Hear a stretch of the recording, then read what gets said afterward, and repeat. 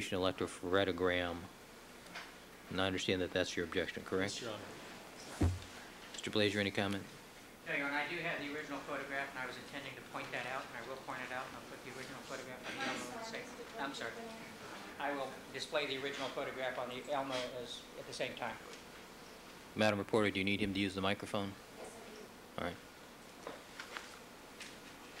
All right, then those objections as to 1, 2, and 3 will be overruled pending court accepting the assurance that that's what will be done since that has the danger of misleading the jury. As to items 13, 14, 15, 16, the people's objection, as I understand it, Mr. Goldberg, is that the uh, blocks do not line up and there's some problem with that in your mind. Is that correct?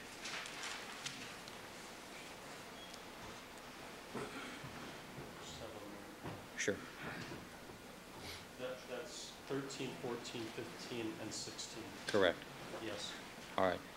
And Mr. uh, Blasier, your indication is that you're going to question the witness and bring out the fact that that's due to the bowing of the plate, Absolutely, and we agree with their interpretation, that they would line up except for the bowing.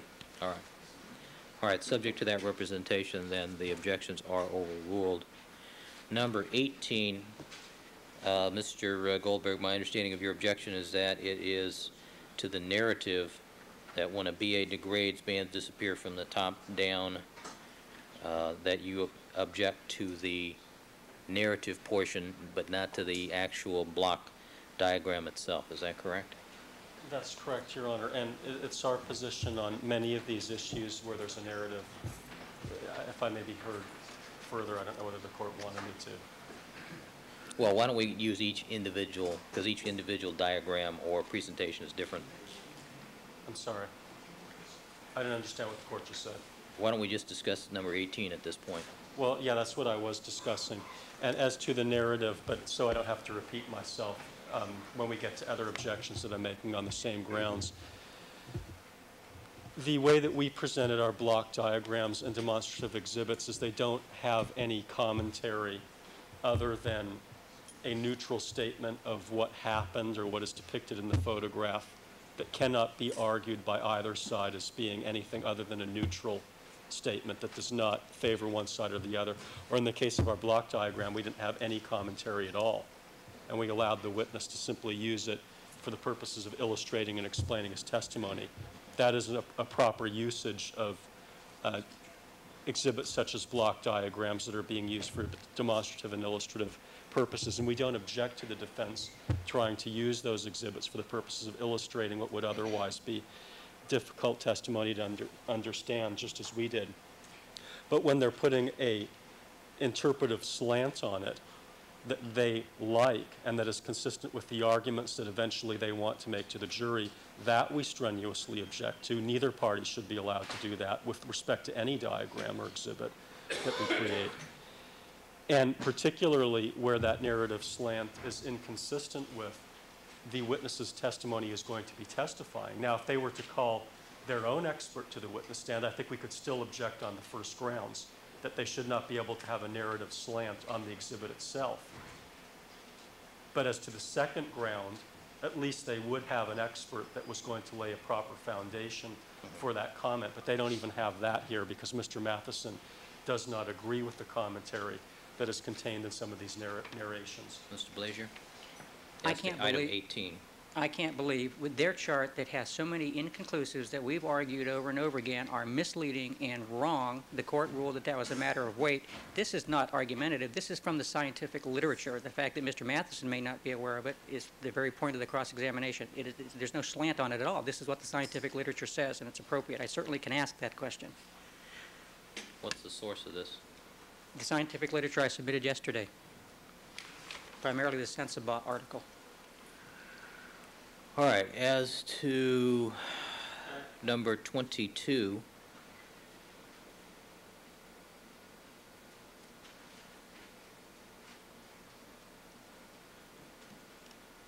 people's objection is likewise to the narrative, is that correct? Yes. As to 23, also the narrative. Yes, Your Honor. 24, also the narrative. Yes. And 25, also the narrative. Yeah, there were two narratives on that. Right. All right, Mr. Blasier? Again, those are not argumentative statements, they're observations from the block diagrams. They're taken from the scientific literature. I don't think they're going to disagree, for instance, with 22, that that B1 is a degraded BA. From, that- that's by definition what the chart says. Uh, These are not argumentative, they're based on the scientific literature. Mr. Matheson is going to be free to say, "I don't agree," or "I disagree," or "There's other literature that he hasn't told us about," and that's part of cross-examination.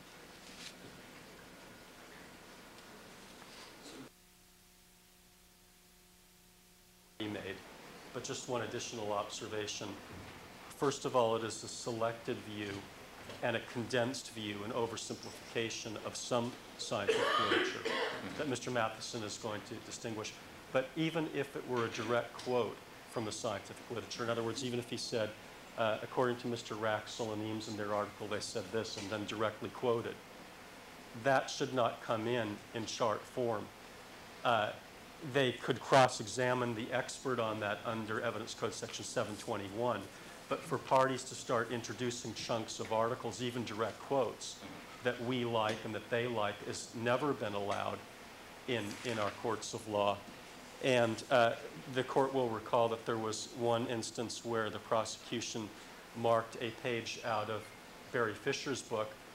I don't think that that page is ever going to be able to go before the jury. It was marked although a a quote from it was read into evidence, because we just don't submit articles and quotations to juries to go back with them into the jury room when they are deliberating on a case. So even if it were a direct, direct quote, which it is not, I, I would still object to it. All right, thank you, counsel. All right, as to item 18, the objection to the narrative is sustained. As to number 22, it is overruled. As to 23, the objection to the narrative as argument is sustained. Likewise, as to 24 You know, were... and 25. I'm sorry, on 24, there was the same narrative, I'm sorry, on uh, 23 had the same narrative as 22 with an addition. It is just the addition you want me to take out? Yes. Now, that's not to say it won't come in at some later point in time. All right, as to the next series of photographs, prosecution has no objection to number one, two, three, four, five.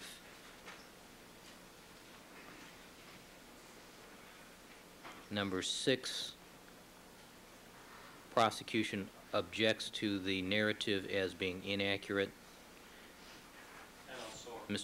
Mr. uh, Blasier?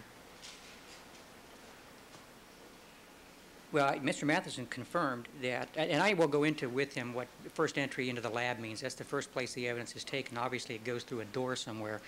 I'll be happy to go into that with him. The rest of it, I mean, it's not inaccurate. He can- He can explain that. All right. Objection will be sustained as being argument. Uh, Number whole thing? seven, I'm sorry, yes. Your Honor. Yes. Number uh, five, no objection. Number eight, prosecution objects uh, on the basis of what? Number eight? that we uh, felt that number eight was argument. All right, that objection will be overruled. Number nine, no objection. No, we, we did object to 9, 10, and 12 on the grounds that they used this phrase sensitive case lockers, which we felt was not a designation that this witness was going to testify to. All right, objection will be overruled. Number 11, We objected to that. as argument. Yes. Mr. Blasier? Again, that's what we've been told by the head of the lab, Mhm. that that area of the lab is for. That's right. why we have it in there. Objection will be sustained as being argument. Number 12, no objection. The number 12, for the record, we, we lumped with number 9 and 10, which the court, I think, All right. overruled. And there's no objection to 15, 16, 17, 18. No. All right, 13 and 14. We, objected to those on the grounds that it says lowest level of security in the lab, which is just flat out wrong and also argumentative. All right, number 14. The same objection. All right, Mr. Blasier has the 13 and 14. Of the three areas depicted in the chart, that is the lowest level of security in the lab. Mr. Matheson confirmed that. Same thing with 14. The information, as far as I know, is accurate. First of all, it it doesn't say lowest of the two areas, or three areas. I'll go into that. But it says lowest in the lab. It's wrong, it's argument. All right, the objection is 13 and 14 as the narrative is sustained as argument. All right, number one, swatches, series of charts.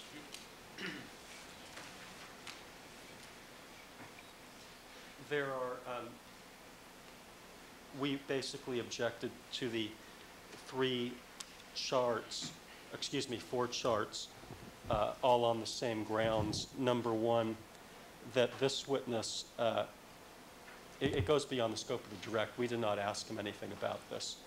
Uh, They are free to call witnesses or recall Mr. Matheson if, if they can lay a foundation for this kind of testimony. Number two, it's speculation because there are a variety of different ways of concluding how many, ch- how many swatches could be created. And number three, it's argumentative. I mean, it's basically just presenting the, the argument that the count, that the defense can and will make later on uh, when they have an opportunity to address the, the jury at the end of this case. All right. Mr. Blasier, the one that concerns me is number four. Chart four. Mr. Matheson confirmed that you can make 100 swatches from a milliliter of blood. You can make a lot more. All right. The objections as to one, two, and three are overruled. I'll sustain the objection as to number four for the reason that there's no standardized size of swatch.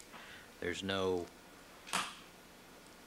standard, as far as I've heard, that indicates that there is a uh, standardized amount that's considered to be a successful swatch, et cetera, et cetera. So the objection will be sustained. If he answers the question that you can make 100 or more, can I use it? Him or anybody else? I'm sorry? him or anybody else, but the state of the evidence right now is that there's no foundation for it. All right, Is that good for all of the other things that were taken out? Says what was in the chart? that's a different story, yes. All right, no. Number, uh, next matters, the uh, chart regarding the blood vial. The objection at this point is the dispute over how much Mr. Peratis is going to say was collected in the blood vial, correct? Well, there are a couple of objections. There were uh, actually four of them. One was that the amounts that were removed by Mr. Yamauchi constituting one milliliter was an approximate, and in his notes it says an approximate. So it misstates, if they're trying to get it off business records, what's in the business records. Number two, the amount that was removed by, that says on the chart was removed by Mr. Matheson, 0.75 milliliters, was in fact removed by Mr. Yamauchi, and again, he indicated approximately 0.75 milliliters. So it misstates that. Number three, it does not at all contain any reference to the testing that Mr. Matheson did on ABO and electrophoresis, I think it- on the 29th of July, where he did not record in the records how much he used, but testified uh, to that on direct examination. Number four, it does not correctly state the testimony of Mr. Peratis, who has not even testified yet, but it has not, does not conform to any offer of proof with respect to what he has said. It is argumentative, and it also is beyond the scope of the direct. Because although some of these issues we went into with Mr. Matheson, and they could get into, uh, they could get into, you know, how much he used during his testing and so on. And how We much did he not have- estimated, and- yes, What? okay. Right. Yeah. Mr. Blasier, I'm, I'm concerned about the fundamental uh, accuracy. He can challenge that. This is from their records. These are withdrawals that are in their records. If we've got it wrong, he can point it out. This is, this is our best information. This is the things they wrote down. And we will, will do the amount taken initially, subject to connection. I can make a good faith statement to the court that there's been under oath testimony that there was eight milliliters taken. They've been allowed to testify to test results with no foundation. I'm offering this as, to connect up later or as a hypothetical. But how do we get around the comment from Mr. Goldberg that these things are actually mislabeled as to who did what? I don't believe they are. We can go into that, and that's a proper thing to go into on cross-examination. We don't believe they are mislabeled. All right, I'll allow the uh, use of the chart uh, after the uh, appropriate questions have been uh, asked to conform with what's there.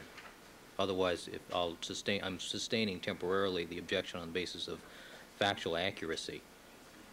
If you can link it up, if you can establish from Mr. Matheson's testimony the things that you've indicated, then I'll allow its use. But you'll need to lay a foundation for it before you can trot it out. All right, let me know when you want to bring it out, and we'll see if you have the foundation. All right, as to the PCR charts, nanogram, PCR amplification, one and two. Point of clarification, I can't use the chart at all until he testifies to all the amounts? No, not all the amounts, but the amounts that are relevant. you'll need to have some more foundation before that's coming in, based upon the factual dispute that I've heard. That's the point. So let me know when you want to use it.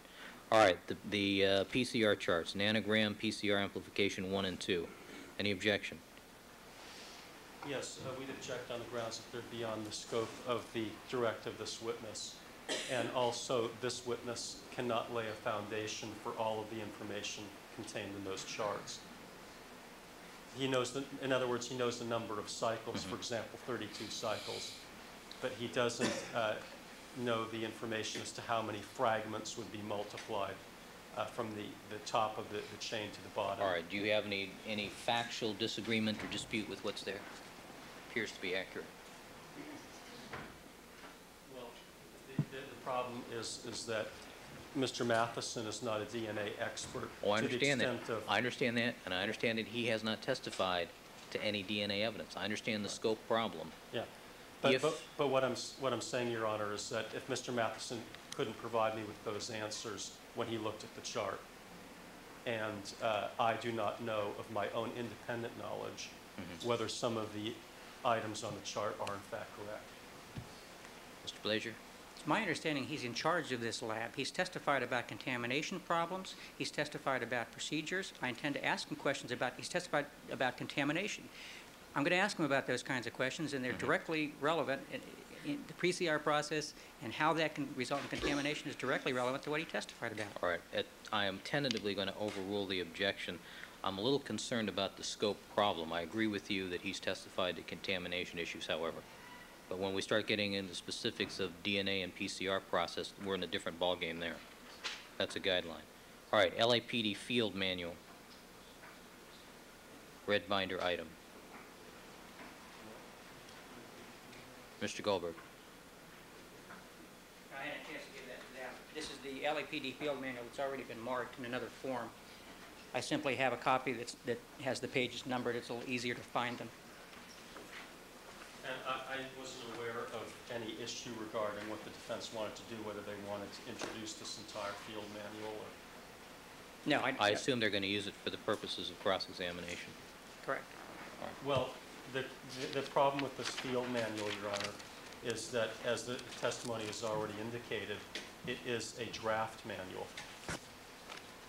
All right, it It's appears... not in effect. It appears to the court, however, that it is a series of articles, handouts, leaflets, et cetera, et cetera, that witnesses may be individually familiar with, but the foundation will have to be laid by the witness. Well, the- the- Excuse me, are- counsel, please don't interrupt me. I'm sorry. All right, a foundation will have to be laid before they can be used for cross-examination purposes. I think this is a courtesy that counsel is giving to both of you and to the court to give this to you in this form. It's my understanding, Mr. Blasier, is that correct? That's correct. All right, let's proceed. Let's have the jury, please. You know, I, uh, I'm going to be getting to that lab chart. I need some time to, to revise the presentation. Which lab chart? The uh, levels of security, the evidence processing room. How much time do you need? And we're just talking about taking out the uh, narrative portion of it. I, I, it's more than that, Your Honor. I, I don't intend to display a big blank screen, and it's part of the presentation, so I have to rework the presentation. Well, you can ask the questions and you do the, how long will it take you to actually re rework the presentation?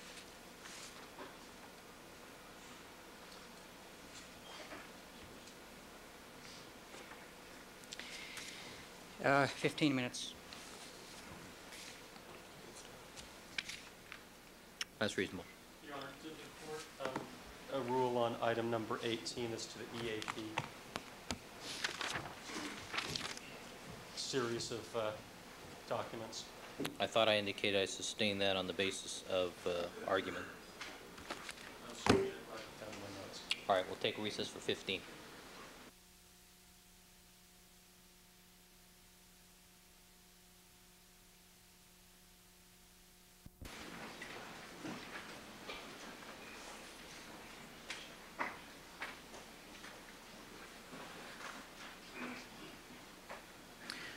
Let the record reflect, we've now been rejoined by all the members of our jury panel. Good morning, ladies and gentlemen. Uh, My apologies to you for the uh, late start this morning. Uh, This morning, I had to go over uh, a number of items of evidence before they were presented to you. I Had to review them with the attorneys. We started that at 8 o'clock sharp this morning, so we've been hard at it, um, but there were a number of issues that we had to go over. My apologies to you.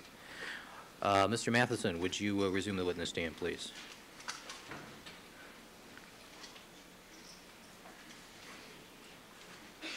Morning again, Mr. Matheson. Good morning. You're reminded, sir, you are still under oath, and he is undergoing cross-examination by Mr. Blasier. Mr. Blasier, you may continue. Thank you, Your Honor. Good morning, Mr. Matheson. Good morning. Good morning, folks. Uh, Mr. Matheson, when did the LAPD SID division begin doing DNA testing? I believe our first case was completed in October of 1993.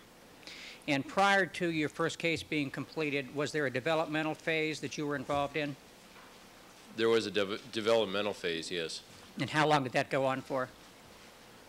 Well, in one extent or another, for about four years, three years, something like that. What was your role in the development of that program?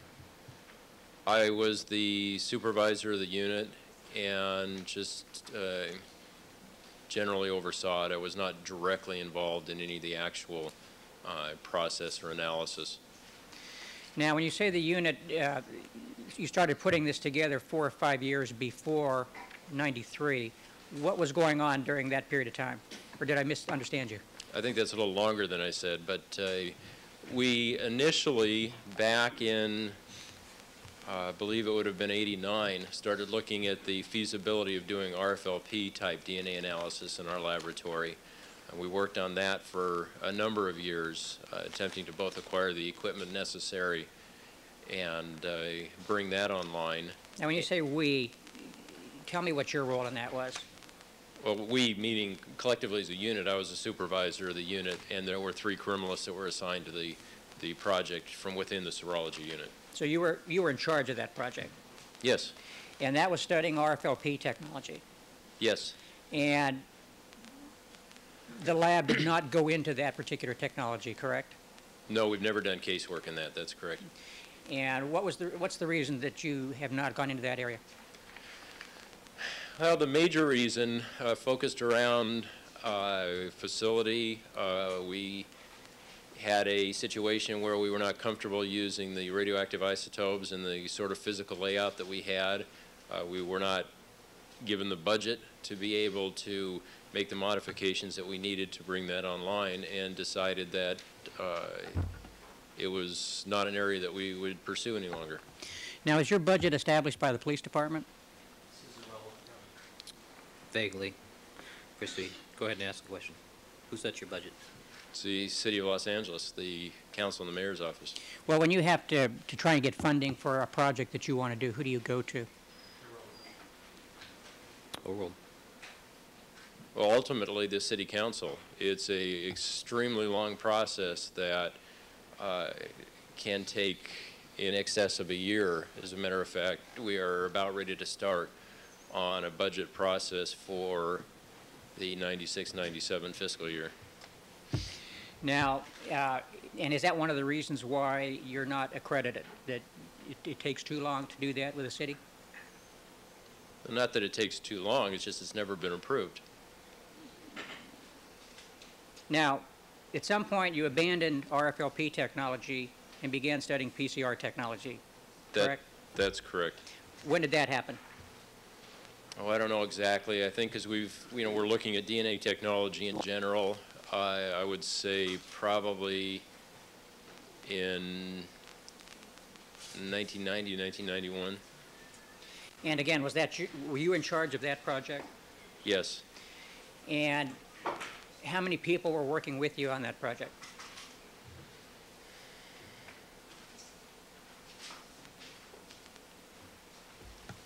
I believe we had two people working on that. Initially, initially there was one, then it became two, and eventually three. Two in addition to yourself? Yes. Now, prior to the time that you started doing casework, what- describe just very briefly what the developmental stage was in the PCR area. Well, initially, it was determining what type of equipment we needed, going through the equipment lists, getting that uh, through the, the budget process, acquiring the equipment. The criminalists that were involved uh, needed to receive training. They went out and uh, uh, received that. Eventually, once the equipment was in-house, we proceeded to set it up and uh, uh, perform the tests within our laboratory to make sure that the uh, PCR could be performed properly under our setting. Now, now that- that, that phase is called the validation studies, correct? Well, the, yes, the development of our system and then eventual validation within our laboratory. Now, what is your role today with respect to your PCR lab? Well, it's one step further away. No longer being the supervisor of the unit, I now manage the serology unit, which is one of the, the section that's involved in it. So uh, basically, there's very little direct involvement at this point. Now, do you consider yourself an expert in DNA technology? No, I do not. And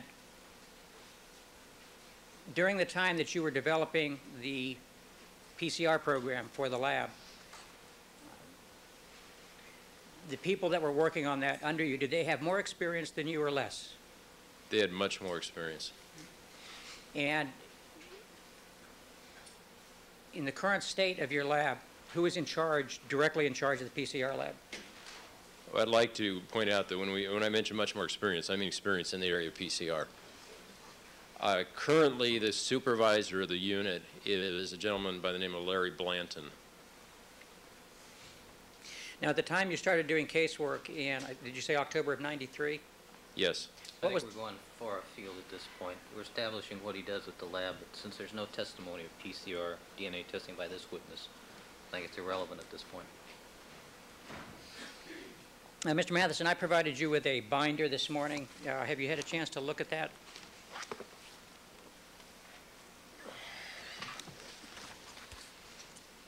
Well, I looked at the, opened it up, looked at the cover page, and just flipped through it. That's the extent of uh, review of this particular binder. Does that appear to be the field manual that we were talking about briefly yesterday?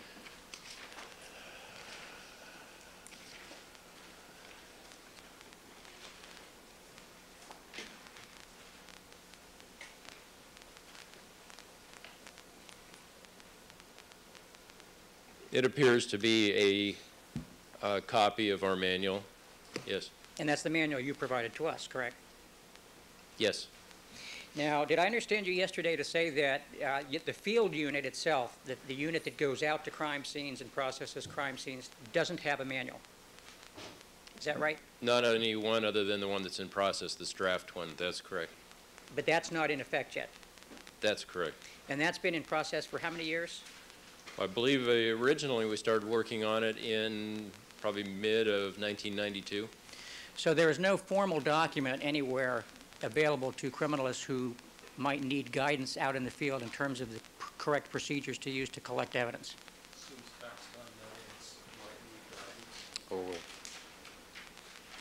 there is no manual that they can go to and look up a section that specifies a certain action or something like that. Uh, We do have some references around, but there is no manual at this point. That's correct. Is it your opinion that uh, not having a manual for your field unit is an acceptable practice? Scientifically acceptable? Overruled. I think it is preferable that we have a manual. Uh, However, I believe you can still do good work and provide training and have people do acceptable work out there without having one, Are you familiar with other crime labs and how they operate? to some extent, yes. What sorts of, what other labs are you familiar with? Well, I interact with, Overruled. Oh, I interact with a lot of people in our profession in labs, excuse me, labs all over the state. Now, your lab, in terms of size of your lab compared to other labs in the state, just give me a, a a rough approximation of where you fall. Well, we're definitely not the largest. I would say that we probably would fall, oh, maybe in the three-quarter point. Uh, There are a number of labs larger than us and many more that are smaller. Of the labs that are approximately your size and larger, do you know of any other lab besides yours that doesn't have a manual for field operations? Overruled. If you know. I don't know whether they do or not. Is this a matter of some concern to you as a supervisor of the lab that there be a manual in effect for everybody to look at? Well, eventually, I think it would be great. I, I think it's a good idea that we have it laid down and in that form. That's why we are working on it. Now, when you say you're working on it, is, is this draft manual available to people that want to look at it that work for you? Yes, it's out. It's not kept hidden or secret or anything, but it has not been presented. Is it kept in the crime lab truck? I don't believe so, no. Now, do you recall whether there's a provision in here that says it's to be kept in the crime lab truck? Oh, Overruled. Yes, I do. It's in the introduction. But that's not done yet. No, because it is not a formal document of our division yet. Now, is it accurate to say that many of the things in here, however, are accepted procedures that you want your people to follow? Yes, Now, please look at page 12. I numbered the pages down the lower right.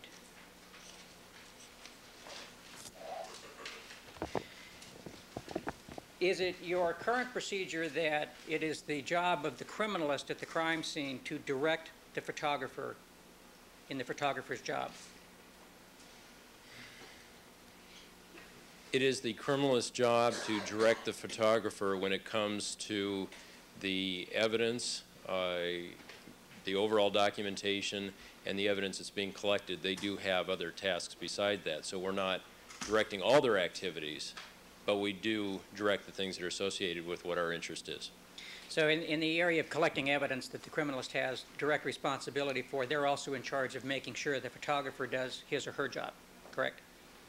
Yes, that's part of their responsibility is to get their items photographed.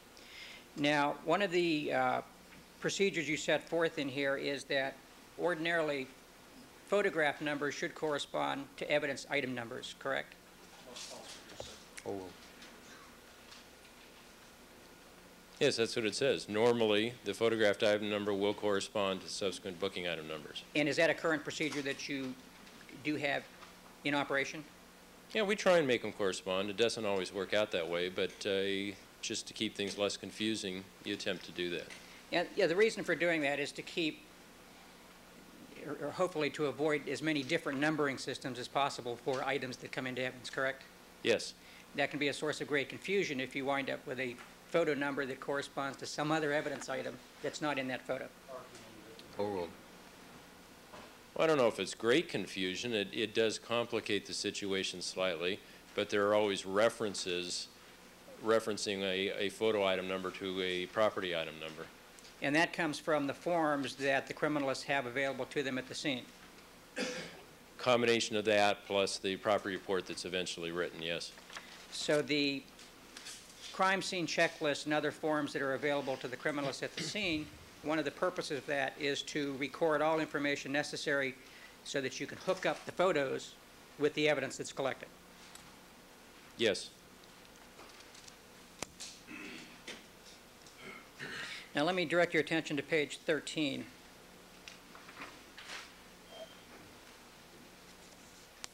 At the bottom of the page, is it your current lab's procedure to uh, have criminalists, when they conduct a search of a crime scene for purposes of evidence detection, use bright lights, ultraviolet lights, or alternative, alternate light sources, or laser lights? These tools are all available to the criminalist if they feel it's necessary. And those tools are available in the crime scene truck, are they not? Yes, And those tools presumably are to be used when there is evidence of the type that lends itself to being looked at by these instruments, correct? if the criminalist feels it's necessary to use them, they're available, yes. And what do you use bright light, ultraviolet light, or laser light for generally? It's not relevant, Your It's compound. What do you use laser light sources for? Well, the laser or alternate light source out at a crime scene uh, mainly is used by the criminalist to look for body fluids such as semen, saliva, that type of thing. And it's also there to look for things such as shoe prints, correct? Not relevant beyond the scope. Overruled. Oh, I, as far as shoe prints, I have never been involved with it used for that, that particular uh, technique. I suppose that it could be, but uh, the primary use of those items is the detection of uh, certain body fluids. And you would agree that at the uh, Bundy crime scene, there was certainly evidence of substantial bodily fluids that had been spilled. Well, it's overbroad as bodily fluid. Overruled. There was definitely quite a bit of blood there, yes. Now, it's accurate, is it not, that Dennis Fung and Andrea Mazzola never used any of this equipment on any crime scene they processed in this case, correct? I'm sorry, let me rephrase that. With the Bundy crime scene, No personal knowledge. Foundations. if, if you know. Still no personal knowledge. Foundation. Do you know? I don't know exactly all the tools they use, no. Now, you were in charge of reviewing their work, were you not? It's overbroad and vague as to review. Sustain. Were you in charge of reviewing the work that they did, that they did, or didn't do, at the Bundy crime scene? Still overbroad. Overruled. One of my duties as supervisor of the trace unit was ultimately to review the field notes, yes. When you say ultimately, what do you mean? Well, the procedure that was in place in the laboratory at that time is that when a criminalist completed a crime scene and everything was booked as far as the evidence goes and the notes were completed, they were placed in a location in the trace analysis unit where our criminalist three of the field unit, a uh, gentleman by the name of Mr. Raquel, would retrieve those. He would do an initial review of them and then give them to me as a recommendation as to whether or not the uh, notes should be filed or reviewed with the criminalist. And as part of that procedure, it's part of your job to review those notes as well, isn't it? If I felt so, yes. And by reviewing those notes, you would know what techniques were used at the crime scene to collect evidence or identify evidence, wouldn't you? I would know it at the time I read it if it was recorded, yes. Do you ever review reports for the purpose of assessing the performance of a criminalist in terms of whether they used the equipment available to them that might be appropriate for a particular crime scene? That is part of the review process. I, ultimately, like I said, I've allowed uh, Mr. Raquel, because he is very well acquainted with field procedures, to do the initial part of that review. And uh, that is part of what he does, is to look to see if uh, that information was noted. It is not a requirement that if a device such as a laser the alternate light source is used out there, that that's a notation that's made. And that's a subjective judgment made by the criminalist as to whether that particular criminalist, criminalist thinks it might be useful or not. That's correct. Now, ultraviolet light is used to uh, identify dust residue shoe impressions, is it not? Well, again, the major use of that particular item, I mean, it's, it's great to have a variety of different light sources out in the field. Uh, our major use for ultraviolet, again, is for the detection of particularly body fluids, not necessarily blood. Is your understanding that the only light source used at the Bundy crime scene by Mr. Fung and Ms. Mazzola was a flashlight?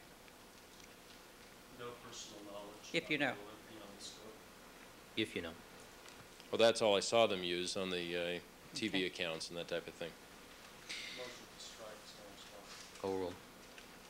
Now, also, uh, talking again about page 13 at the bottom, one of the techniques that is set forth there for criminalists to perform involves wheelbase and tire tread stance measurements, correct? That's mentioned here, yes. And that would be something that they would do if there was evidence of tire tracks at a crime scene. Beyond the scope, not relevant. Overruled. That is indicated there as a technique that if they feel it's important to record, then yes, it's something that should be recorded. That was not done at the Bundy crime scene, correct? Not to my knowledge, no. Overruled.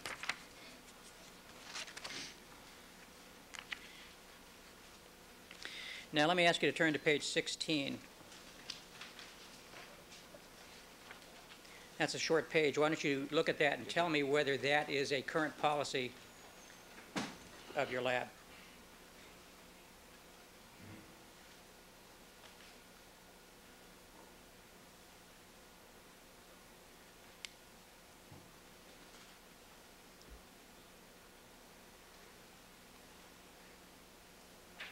It is not a strict current policy, no. Now, do you think that's a desirable policy? Overruled. This, as many things in this manual, are guidelines, and some flexibility is needed when dealing with, with evidence. Uh, I would hate to not perform an analysis on something just because we had not yet had the opportunity to give it a barcode. Now, what we're talking about, so to keep everybody out of the dark, is trying to get evidence booked as quickly as possible. And by booked, I mean logged in into the computer system, into your secure unit at the lab, correct?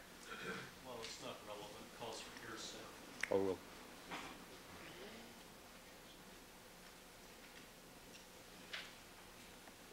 the references that we are reading from now deals with having unbooked laboratory, or excuse me, unbooked evidence in the laboratory. It doesn't specifically mention anything about uh, timeframes or as soon as possible or anything like that. Well, it talks about evidence being booked at the ECU, which is where it gets barcoding, correct? Yes,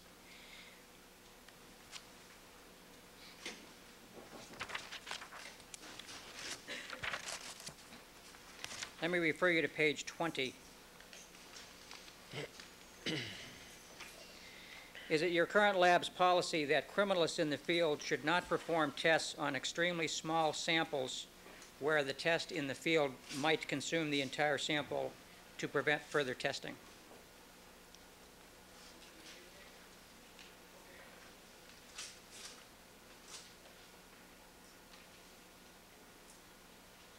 that is what they're taught, yes.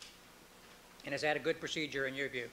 Yes, Now, there was a uh, field test performed on the spot on the Bronco by the door handle. You know which spot I'm talking about yes, I do, at the Rockingham scene? yes, And that spot was also collected, correct? that's correct. And it was collected after that presumptive test was performed on it, correct? It's my understanding, yes. And the presumptive test involved touching it with a swab, uh, with a wetted swab, and adding a chemical to the swab to see if there's a reaction, correct? Adding a couple of chemicals, yes. Now, is it accurate that when that spot was then collected, there was insufficient amount of material to perform any further tests? No foundation, personal knowledge. Overruled. Do you know?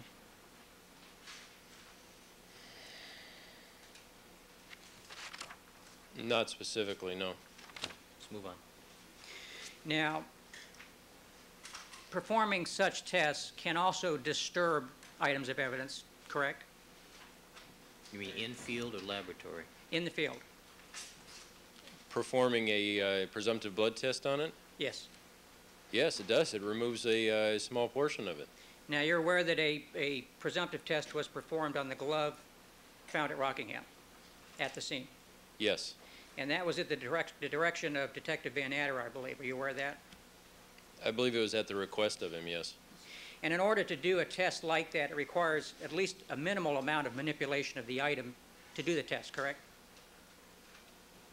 Well, You have to, to some extent, deal with the item, yes. And when you manipulate items of evidence such as that, you take the chance of moving evidence around that might be on it or depositing evidence that wasn't on it before on it. Well, anytime you manipulate something, obviously you are going to be affecting it in some way. Uh, just the mere fact of, of touching it or moving it changes its location. Uh, depending on how it's done, will minimize any sort of alteration that occurs to the evidence. So would you agree that it's desirable to do as little manipulation as possible at the scene of evidentiary items such as a glove?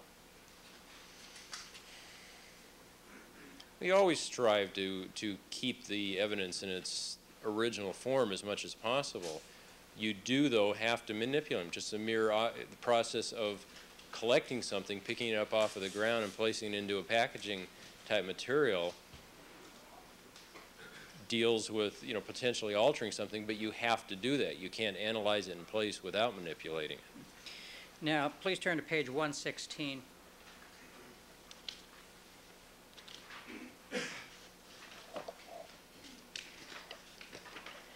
Under training, that refers to criminalist ones participating in field investigations in a trainee capacity. What does that mean?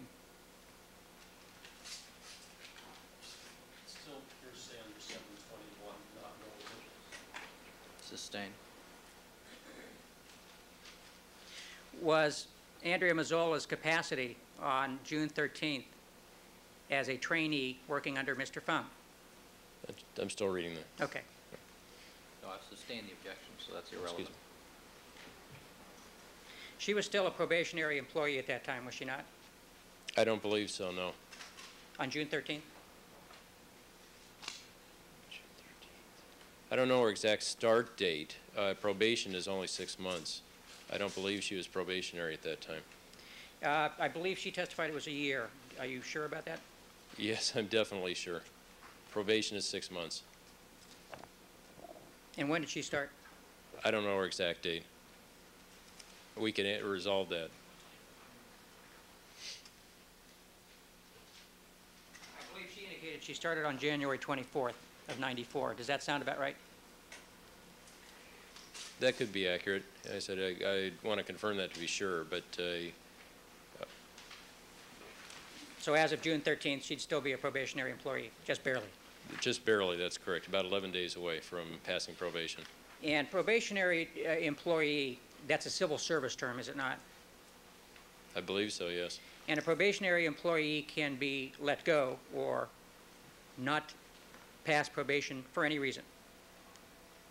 Well, I don't know about for any reason. You'd I- have I to. think we're calling for a legal conclusion here. Let's not get into employment law. Does a probationary employee serve at the pleasure of her supervisor? What do you mean by at the pleasure? They can be let go for no reason. They have no civil service protection. Counsel, we're not going to get into that. Proceed.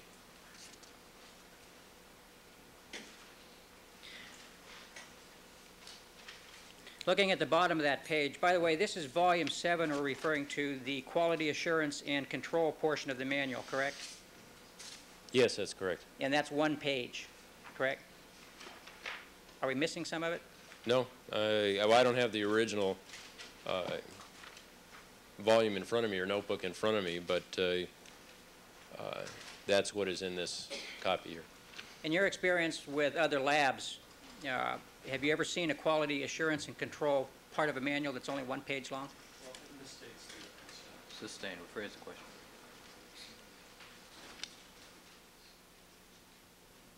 Have you ever seen manuals from other crime labs? I have seen portions of other manuals. I don't believe I've reviewed the whole manuals or all the manuals that exist in other laboratories. As one of your, your jobs as a supervisor, does that involve looking at other labs that do things to see whether they do them better, and so you can learn from them? I have reviewed how other labs do things, yes. And of the labs that you've reviewed, have you ever seen a quality assurance and control manual or portion of a manual that's one page long? It's not relevant. Sustain. Now, the bottom of this one page talks about prior to approving and signing reports, a supervisor should inspect all case notes, photographs, etc. Is that a current policy of your lab? Here's Sanders 728. Overruled.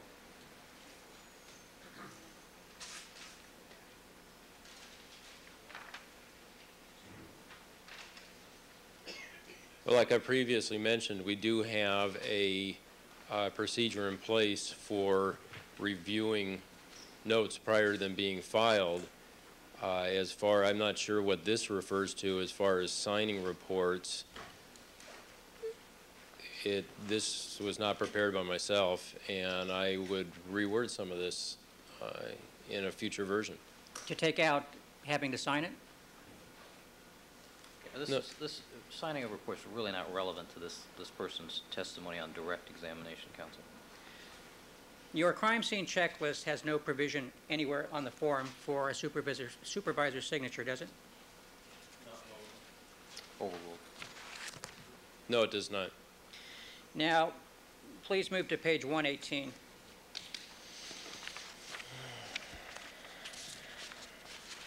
Now, this is the chapter or the volume regarding record keeping and reporting procedures, correct?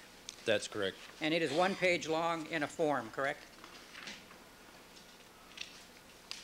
As it appears here, yes. And is this the current policy of your lab, or is this the extent of the current policy of your lab? Are we talking about everything that's on the page? Yes. I'll have to read it.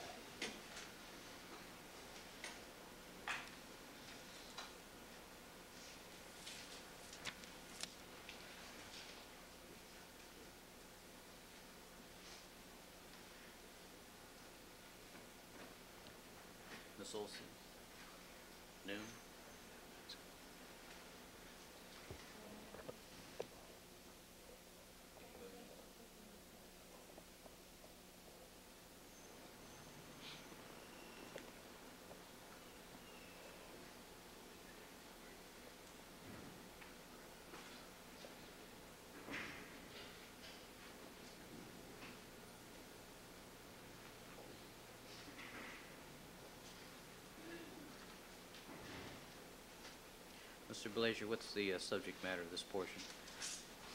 Record keeping and reporting procedures.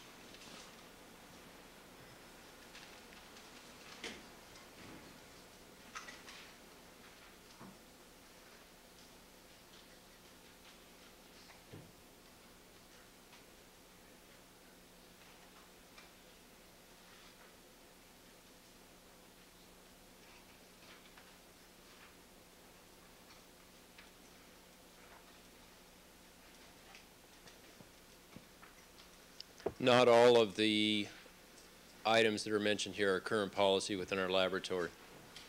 Let me ask specifically about the portion describing um, all evidence collected as a result of field investigation or laboratory evidence removal services shall be accurately described on an LAPD property report. Is that current policy? Yes, it is. And by accurately described on a property report, does that include describing where an item came from? That's correct. Part of the information is to be able to place it back in its original location. Now, as, the- the second page of this chapter is a witness critique form, correct? Yes, Is this a form that's currently in use? yes, it is.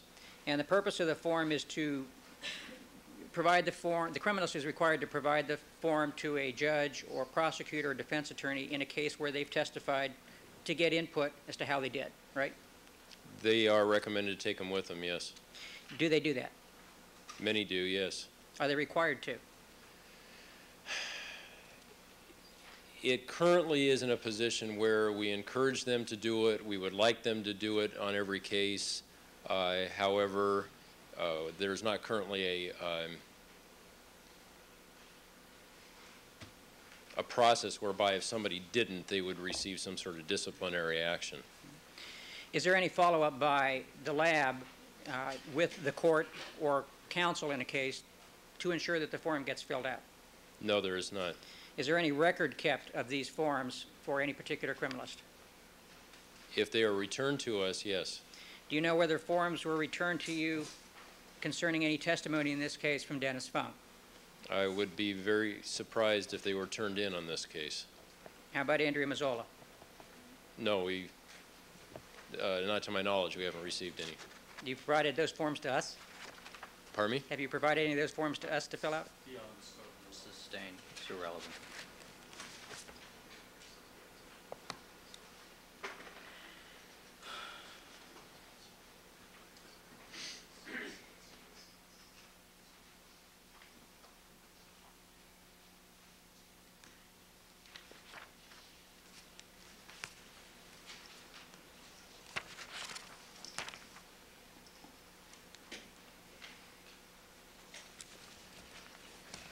Let me ask you to turn to page 144. And this section concerns forensic photography, correct? Yes, it does. And it indicates that acceptable crime scene photography should tell a story by itself, absent of any written or oral narrative. Is that current policy? That is what it says. Uh, I don't believe we have a policy to that effect, no. Is that a good policy in your view? Sustained. The provision that says the original condition of the crime scene, the sequence of its search and recovery processing of any evidence within should be exhaustively photographed. Is that a current policy? Not relevant. Sustained. It's beyond the scope. Policy indicates to take copious photographs. Is that a current policy? Beyond the scope. Sustained. Isn't it one of the jobs of the criminalist to guide the photographer in performing their job? It's been asked and answered.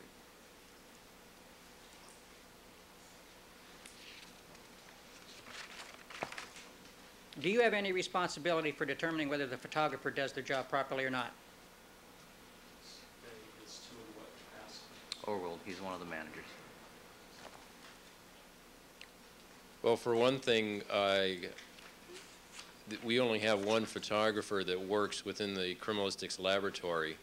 Uh, that We are not direct supervisors or managers of our photographic section. Is there any written policy in- that applies to him in terms of how he should do his job, Or her. or her? Something that would exist within the photographic unit or section? Yes. I have not seen one, no. How about anywhere in the crime lab? I have not seen one that specifically delineates uh, the proper job or procedures to be used by a photographer in the field. Could you look at page 145 that talks about procedure to use in photographing bloodstains? Is that a current procedure in your lab? Overruled. Uh,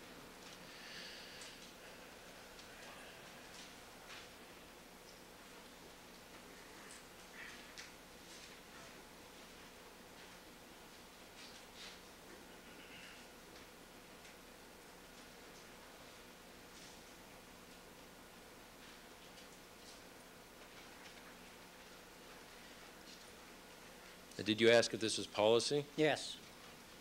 We, because the manual is not completed, we do not have a policy on this. The general information that's there is appropriate and accurate, but we do not have a policy. Now, one of the procedures that is described there involves taking pictures of bloodstains with scales going in both directions to give some scale to a photograph that's taken of a bloodstain, correct?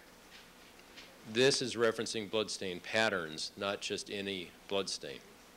How about bloodstains? Is it your understanding that the proper procedure is to photograph bloodstains with a scale so that you can have some reference point to determine the size of a stain? Overruled. The jury has already seen what we're talking about in this case. Proceed. It's good practice to have a scale in the scene whenever you're photographing evidence. And that was is not, This is about the third witness who's testified to this.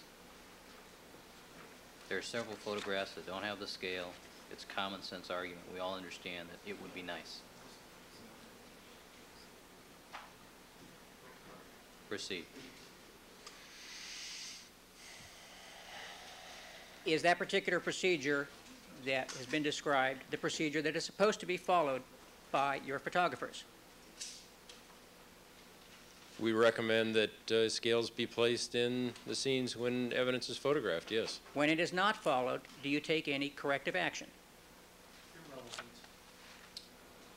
Sustained. please go to page 151.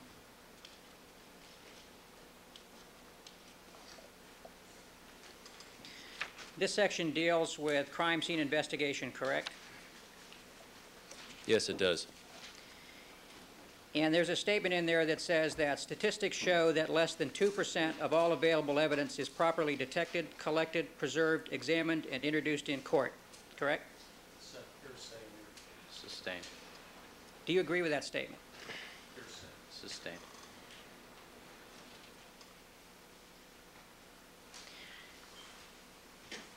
That particular document talks about taking copious notes. Is that your current lab policy for criminals, to take copious notes? Vague, copious, what's the documentation policy? As far as crime scenes go, Yes. we wish them to record all the information that's necessary to reconstruct or place the evidence items back at the scene. Do you have any set policy in terms of how extensive their notes should be? At the current time, no. Is there anything written anywhere that tells them how to fill out the forms they have?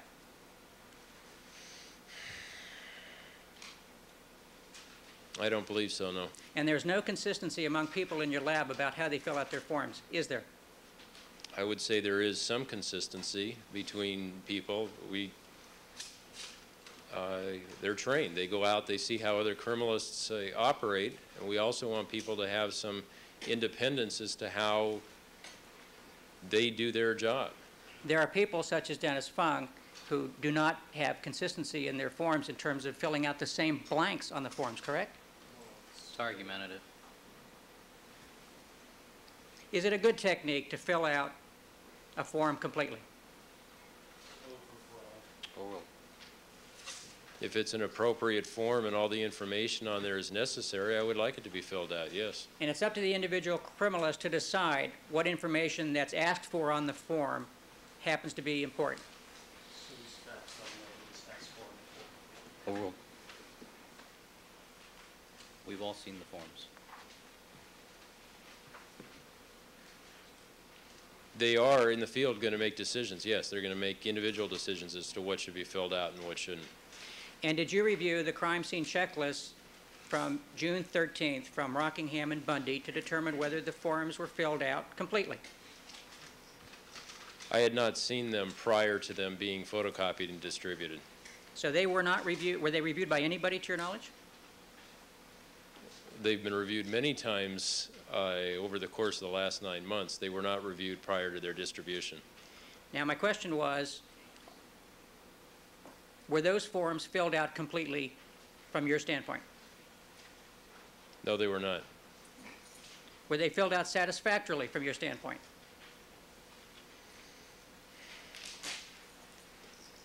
Using the term satisfactorily to indicate that they have what I would consider the most important information, such as what evidence items were collected, how to relate them back to numbers and their locations, I would say as a rule that was done satisfactorily. There were parts that were missing. Now, one of the issues that's come up in this case is the identification of who collected particular stains. You're aware of that, correct? Yes, I am. And you're aware that the crime scene checklists, which presumably are the only notes that they prepare when they do their work, is that correct?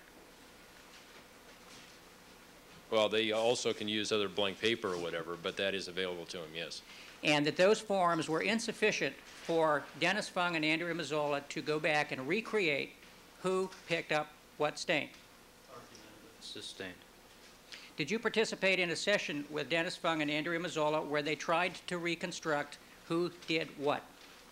No, I did not. Are you aware that they had to have such a session? Sustained.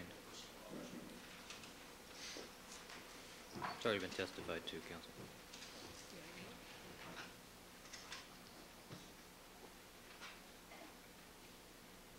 Were you involved in the process at all, trying to assist them to reconstruct who collected what?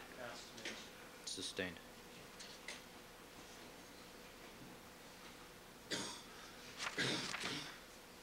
How were those forms inadequate?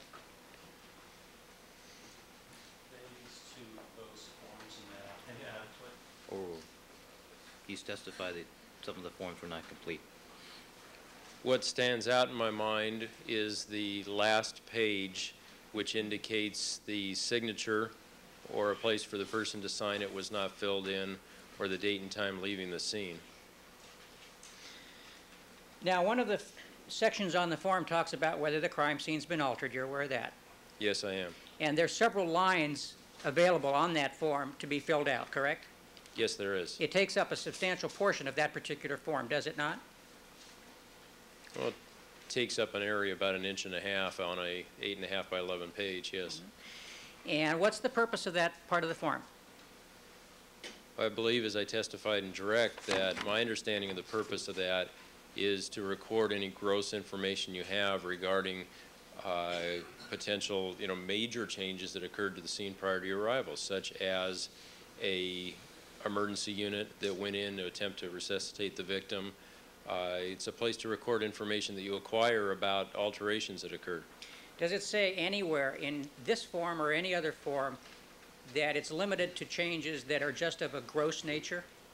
No, I was just testifying to my understanding of what that section means. Well, what are your people taught about what it means? Or are they taught? I don't believe that we've gone, you know, done a teaching session where we go line through line through the form. Uh, they learn out in the field with other criminalists in how to fill it out, and uh, the people that I have taught in that is exactly what I mentioned just now. If you know of any gross alteration to the scene, to record that there. Now, gross alterations would include moving bodies before the scene is processed? I would say that uh, is information that, that could be included in that. Now, that information wasn't included in the Bundy crime scene checklist, was it? Sustained. Rephrase the question. Was that information included in the Bundy crime scene checklist in that section that talks about an altered scene? No, oh, no, it was not.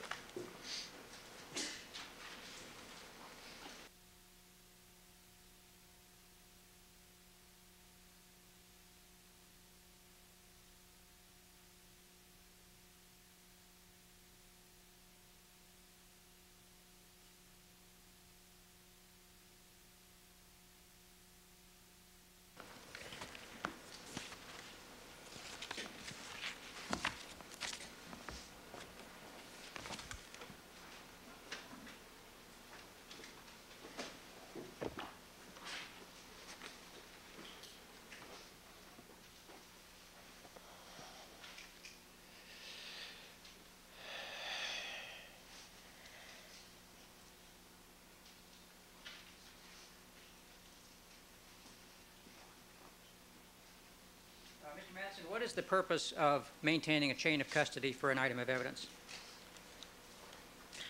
My understanding of the purpose of a chain of custody is so that when an item comes into court, you can establish that it is the same item that was collected at the crime scene.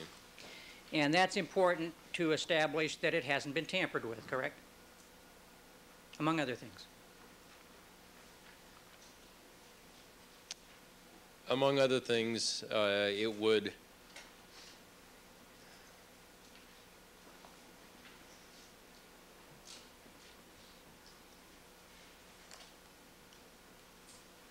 it would allow you to say that it was it was under control, or you'd you'd know who had control of it the whole time.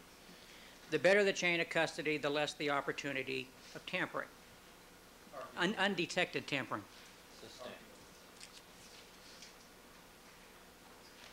Is it proper procedure for a detective to take property home overnight? Evidence, excuse me. Sustained. Would you recommend that a detective take a reference tube of blood home and put it in his refrigerator overnight? Not relevant. Sustained. What is the procedure uh, required by the Los Angeles Police Department for booking blood vials in terms of when that should be done?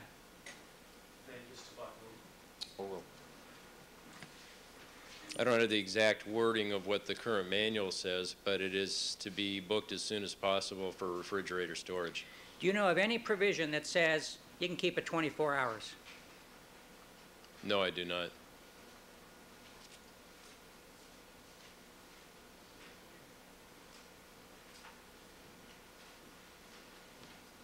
Is it important for a criminalist at a crime scene to try to reconstruct the state of the scene at the time of the crime? Overruled.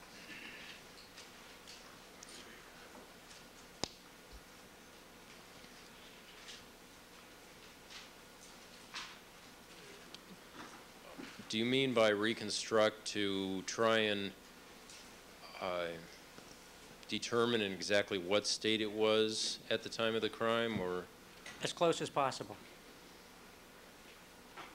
My understanding is, is that it is important that the criminalist uh, be aware of how it is upon their arrival and document that and collect the evidence that's there. Uh, Reconstruction can occur after the fact if uh, all the information as to how it was at the time when they arrived and other information is supplied.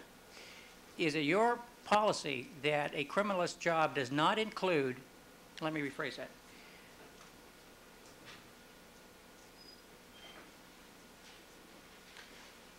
Is it your position that criminalists don't have the responsibility for trying to establish whether a crime scene has been tampered with from the time of the crime until they get there? Why don't you rephrase that? Is it the criminalist's job to find out if evidence has been moved around by the police before they were called to the scene? I think it's important for them to record it if they're aware of it, uh, depending particularly on the complexity of a scene. Their primary goal is in the documentation and collection of the evidence. If they become aware of the fact that something has been moved, uh, it should be recorded. I would not expect them, particularly in a highly complex scene, to go around and interview everybody to find out if each item was in the same place as it was when it started. How about talking to the detectives in charge of the scene to see if anything's changed, anything's been taken away? Oh, I don't think that would be unreasonable. Is that part of their job? Well, Part of their job is to get an overall view of what happened with the scene from the detective. It would not be unreasonable for the criminalist to ask if they were aware of something having being altered.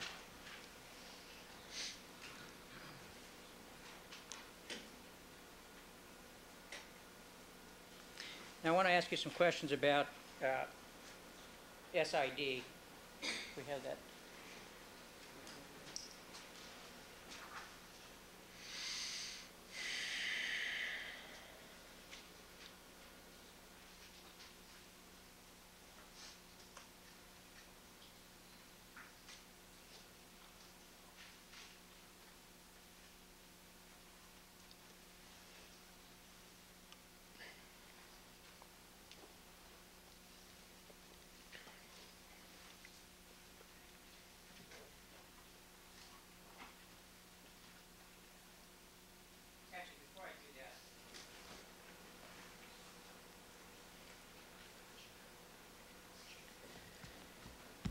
Uh, Yesterday, I showed you a couple of textbooks on uh, crime scene investigations, did I not?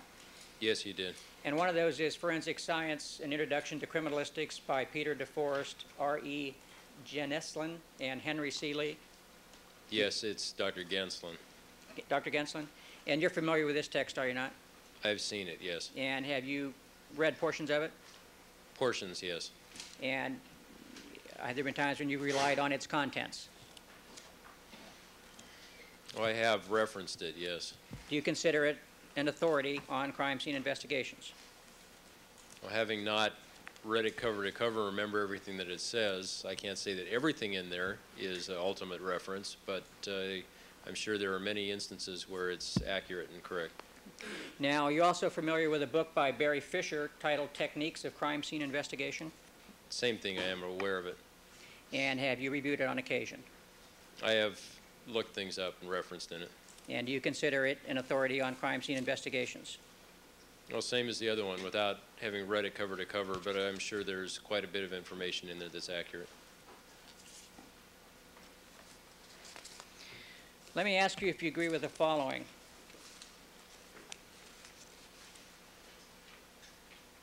Nothing should ever be altered until, yeah, uh, page 38. Uh, DeForest, DeForest. Page 38 at the bottom.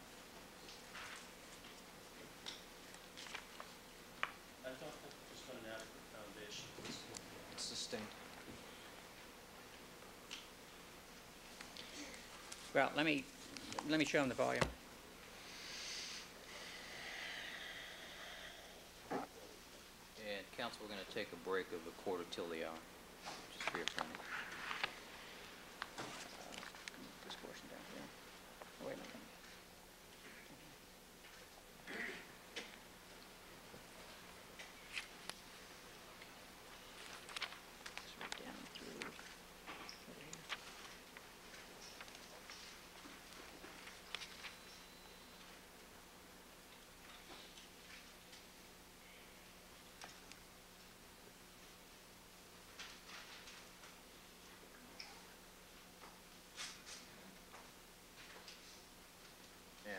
Mr. Blasier, what's the general topic of this chapter?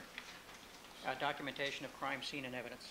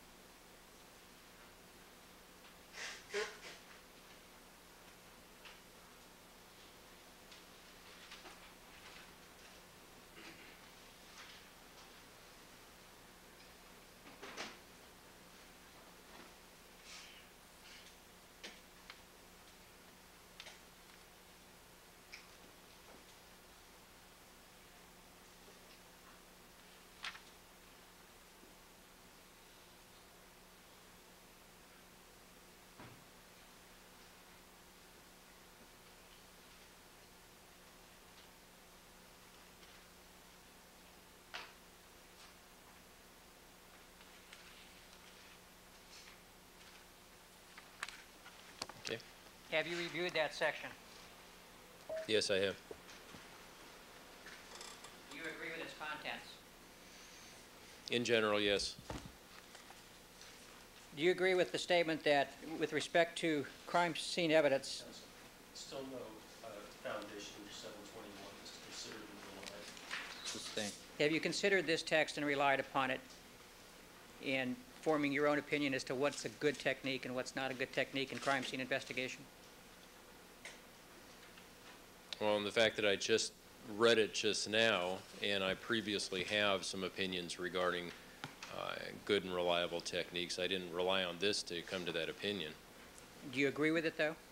With some, Well, I'm sorry. do you agree that nothing should be Hold on, altered? hold on, hold on. Council, an objection's been made. Oh, I'm sorry. Not- Not relevant, there's still no foundation. Sustain. As a general rule, do you believe that at a crime scene,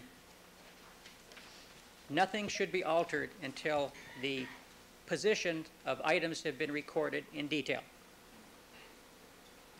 I agree with that if that's possible, yes. And do you agree that every case should be thoroughly documented? Um, Documented as well as possible, yes. Do you agree that thorough documentation is required for a successful reconstruction of a crime scene?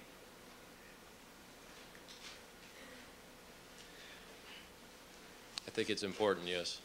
Do you believe that written notes are indispensable in any investigation?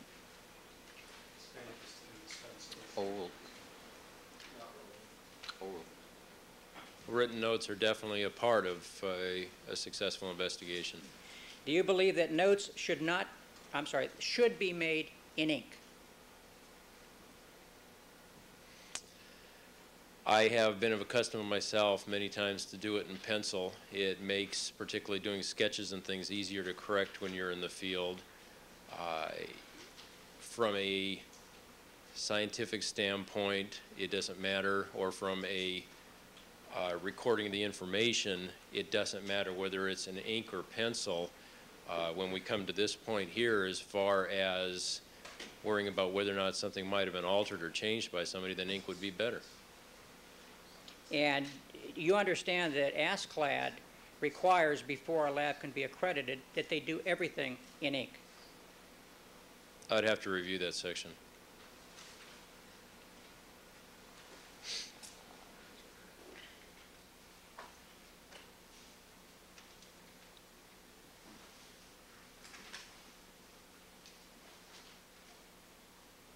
Your Honor, I'll object to any questions on what ASCLD requires. It's not irrelevant. The, the answer, question and answer will stand.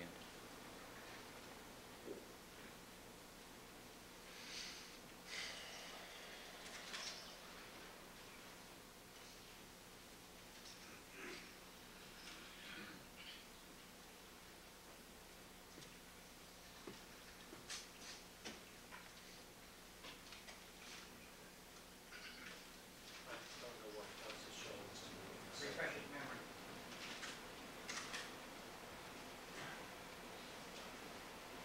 You want to ask the foundational questions? Would it refresh your memory to look at the ASCLD manual for accreditation? And I'd object that it's not relevant. And he also, it's also vague as to refresh memory as to what. Or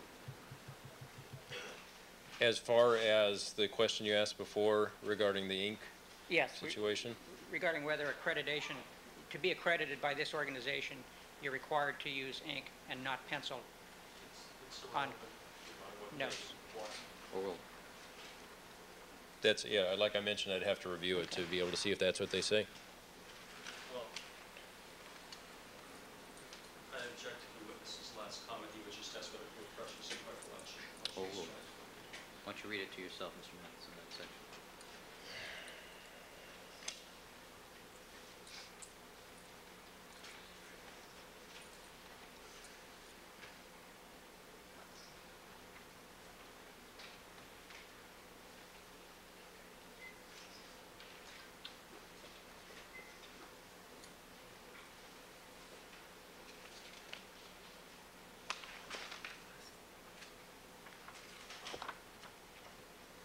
It does make reference here to, All right, no, Mr. Matheson, does that refresh your recollection as to the accreditation requirements set forth by ASCLD? in that section, yes. All right. Do you know of any noted authority or author in the field of crime scene investigations that takes the position that pencil is acceptable for crime scene notes? No, I do not. All right, ladies and gentlemen, we're going to take a uh, brief recess at this time for 15 minutes. Please remember all my admonitions to you, and Mr. Matheson, you may step down. We'll reconvene at 11 o'clock.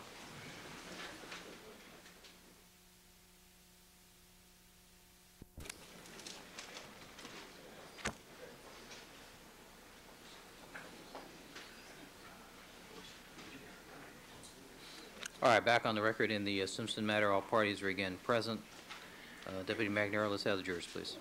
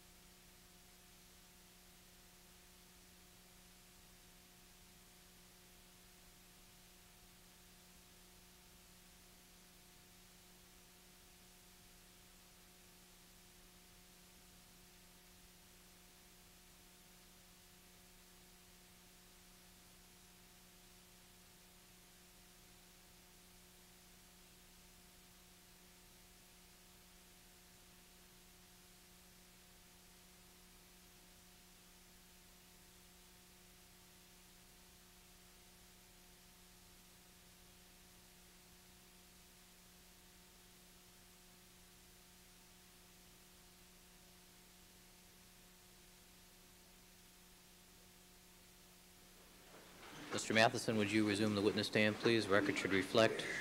We have been rejoined by all the members of our jury panel. Mr. Gregory Matheson is again on the witness stand, undergoing cross-examination by Mr. Blasier. And Mr. Matheson, you're reminded again, you were still under oath, sir. Mr. Blasier, you may continue. Thank you, Your Honor. Uh, Mr. Matheson, before the break, we were talking about the desirability of having criminalist notes in ink. You recall that? Yes, And it's also desirable, is it not, to have their notes in a bound volume rather than a loose leaf volume, correct? Misstates the evidence as to it's also desirable in conjunction with the prior question. Well, Rephrase is the it? question. Is it also considered desirable by most authorities in the field to have work notes, field notes, in a bound volume rather than loose leaf? It's an objection regardless. Sustain. Is it desirable, to your knowledge? I know that that is one technique. I don't believe that's a universal technique. Do you think it's a desirable technique? I don't believe it's necessary, no. Now, the reason for that technique is to avoid the possibility of pages being substituted without being detected, correct? That is one reason to do it in a bound notebook, yes. And if you keep loose leaf volumes, pages can be moved around, and you'll never know, or you may never know the difference unless you look at things like staple holes, correct? Sustain.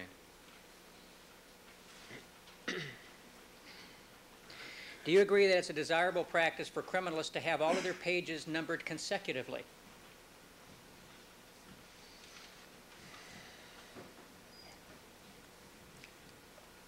I'm not sure that's, that's necessary. You understand that that's recommended by a number of authors in the field? I know I've read it in one author in the uh, text that you just showed me. And you don't require that in your lab, do you? No, we do not.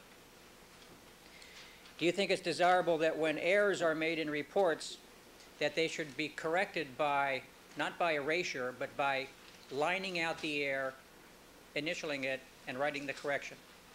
Overbroad as to reports as Or opposed rule. to notes. Overruled.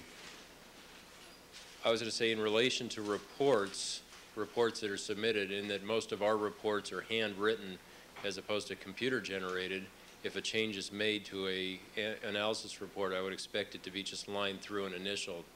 When it comes to field notes, I don't necessarily agree with it. You don't agree that as a, as a safeguard, the same principle should be uh, applied to field notes? They can argument it's to safeguard. Sustain. Are field notes just as important as reports, in your view? They, they are important, they serve a different function. And is it just as important that field notes not have the appearance of being tampered with as reports? Sustain. Rephrase the question. Is it just as important that the integrity of field notes be maintained as well as the integrity of reports? Overbroad relates to integrity. Overruled. If you mean by integrity that every little mark on them that's put out in the field be exactly the same as always, I'm not sure I agree with that. Uh, Field notes are just that. They're observations that are made in the field uh, while you're doing it, or your sketches. Many times I have, in the process of making a sketch, erased things to realign walls or something along that line. Do you feel that it is preferable that criminalists not throw away pages of their notes? Overruled. Yes, Do you have a rule for your criminalists that they are not to destroy any of their original notes? we don't currently have a written policy for that.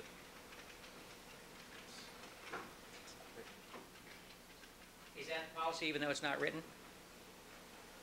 We advise people to, to retain originals, yes. Well, we- is it just something that, that they can do or, or cannot do, or is it a policy that you want them not to throw away their notes? It's vague as to policy. Overruled. Actually, that is my question. When it comes to policy, uh, it is something that we advise them that we want them to retain all their original items. If we were to be made aware that it was thrown away, we'd advise them that that's not the proper thing to do. Do you have the authority to set a policy for your lab? As a supervisor? Well, not as a supervisor, as a manager working with the lab director and the captain, we set policy, yes. You don't have to go through any other body to set policy for the people that work for you, is that correct? That's correct.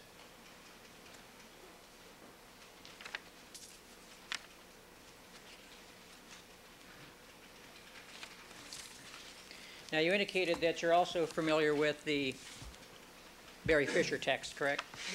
I have seen it, yes. And who is Barry Fisher? He's currently the lab director of the Los Angeles County Sheriff's Department Cr- Criminalistics Laboratory. And he's published this book, correct? My understanding, yes. And i- it's not unusual for people who do casework in labs to also do research and publish articles, is it? No, not at all. It's not unusual for them to also publish books. That's correct. And the reason that you don't publish any of your work is because you choose not to. That's, that's correct. I have not published. You have no interest in getting involved in research or putting your work into uh, print for publication. That's not my main interest, no. Now,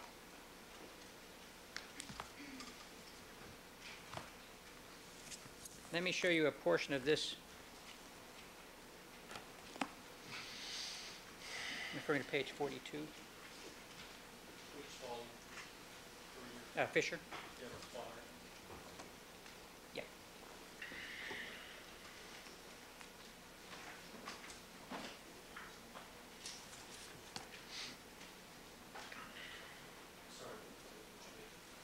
42.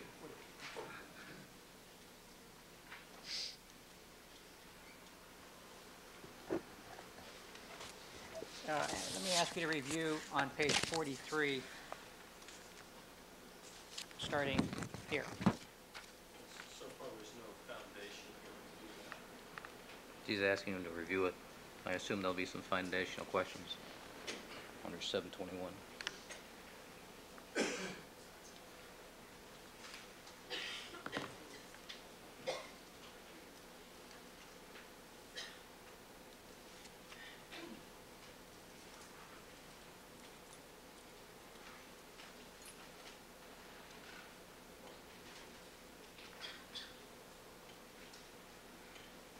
Topic of this uh, paragraph, Mr. Blasier? Uh, Essentially thoroughness of crime scene investigation. Have you reviewed that section before? I don't specifically remember if I've read that before. Do you agree with what you read? Overruled. In ideal conditions, yes. That is a goal to attain. Now, do you agree that in ideal conditions, as a goal to attain, Sustain. Seven twenty-one, Counsel. I'm sorry? Foundation's missing. It's hearsay at this point. I, I- I'm asking him just a general question. You're referring to the item, though, Counsel. Mm-hmm. Have you relied on this portion of this text before? No, I have not. Do you agree that it's extremely important to be overly thorough at a crime scene rather than less thorough in terms of not collecting items that might later have some value? Yes, I do. It's very important that you not make judgments at a crime scene that limit what you might collect, correct? Vague, overbroad. Oh, Overruled. That's correct. The desire is to collect too much rather than too little, correct? The desire is to correct just, collect just the right amount of things, but to err towards too much would be better than too little. Would you agree that, uh, particularly in a complex crime scene, you're not going to be able to figure out everything that might be relevant just by looking at one crime scene? I'd say that's true. And so as a general principle, are your criminalists trained to collect more rather than less? In other words, to collect things that maybe doesn't, don't have any relevance as they just look at them, but just to be safe because they might become relevant in the future, collect it. They are taught to err towards collecting too much, yes. Is there any limitation on laboratory space such that they are limited in how much evidence they can collect at a crime scene? Not in any individual crime scene, no. So that shouldn't be a consideration that they use in deciding what to collect and what not to collect, should it? Well, at some point, you're going to have to make a decision. Uh, Obviously, it would be nice to be able to collect, to use maybe as an absurd example, a home that was the scene of a crime. Theoretically, if you collected the whole house, then you have then uh, preserved absolutely everything that's in it, that would be taking it to the extreme, and of course, we don't have space for that. But I do not want a criminalist going out there and saying, well, I'm not going to pick up this seat cushion or remove this mattress because it's a large item to book. Bloodstains don't take a whole lot of room to collect, do they? No, they don't. Now, the, presumably, the police will keep a crime scene open for as long as your people need to process it, correct? Yes, So time limitations should not be a factor that hampers your criminalist's ability to collect evidence, correct? not time as it comes to our access to the scene, that's correct.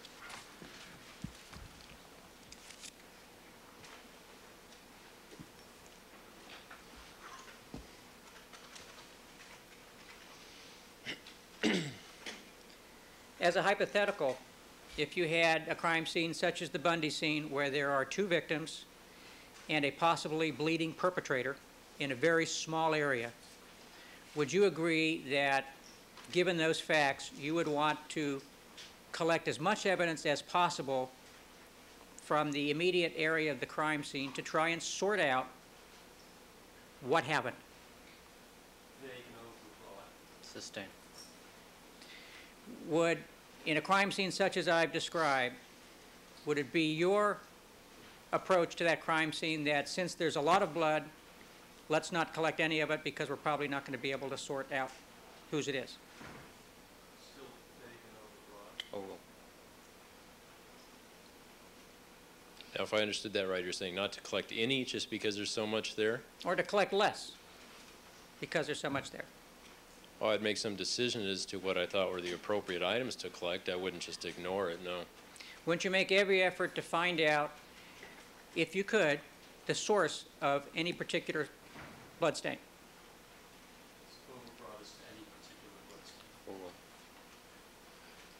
It's a process of looking at the whole scene. Obviously, if I see an area that appears to be a continuation of a blood pool or running or something like that from the victim, uh, I would want to collect one sample of that, like I mentioned before, and I would not then collect bits and pieces from all parts of it. However, if I saw a stain that was separate from the crime, immediate crime scene or something that appeared to be out of place, I would definitely want to collect that one. Now, I'd like to ask you some questions about uh, security at SID.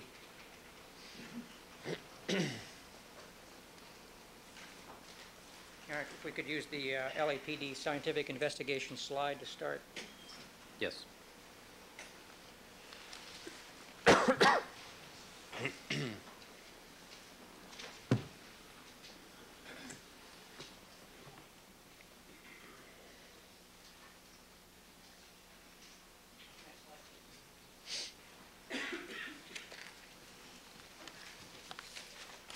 Uh, Mr. Matheson, you can see the slide on the monitor, Yes, I can.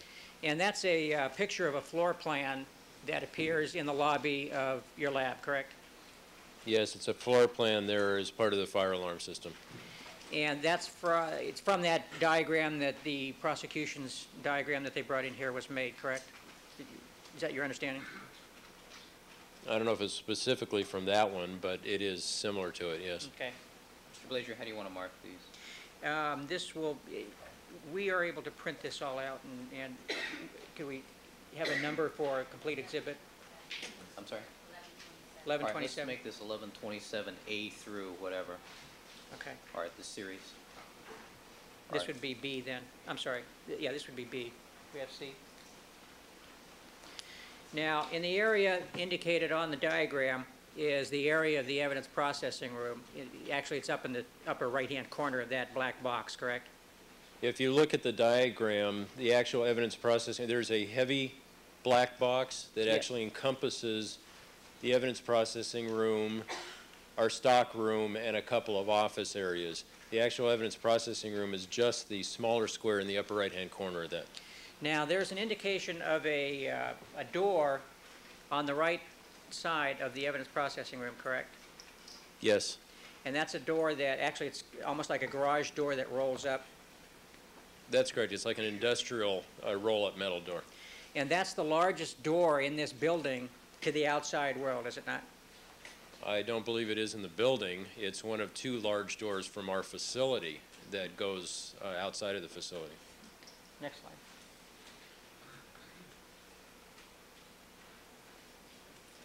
This is slide D, uh, D. D? D. Now indicated on this diagram is the highlighted area, which is the evidence control unit, correct? Yes, that's correct.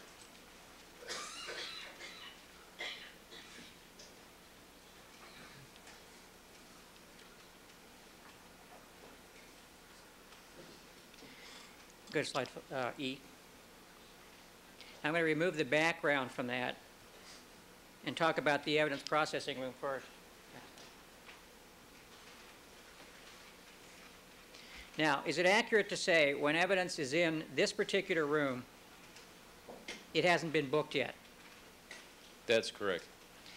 And there is a barcoding system for boxes that contain exhibits within LAPD, correct? Well, There's a barcoding system for boxes and packages within our division, not within the whole department. And when items of evidence are in the evidence processing room, they are not, initially, before they've been booked, they have not been entered into the computer system, correct? That's correct.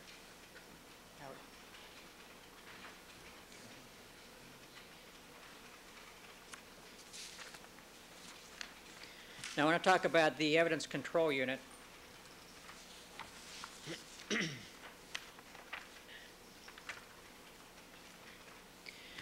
Now, once evidence is moved to the evidence control unit, is when it is entered into the LAPD computer system for tracking, is that correct? When it's booked in, it is, that's correct. And that's known as the SETS, S-E-T system? The That's one set- system? I'm sorry. I'm sorry, that's one system?